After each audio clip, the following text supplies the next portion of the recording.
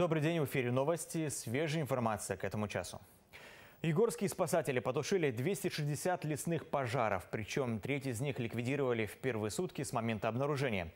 Таковы итоги пожара опасного сезона. Его официально объявили закрытым из-за похолодания. Пик лесных пожаров пришелся на июнь и июль. Тогда самые крупные возгорания были в Нижневартовском, Советском и Сургутском лесничествах.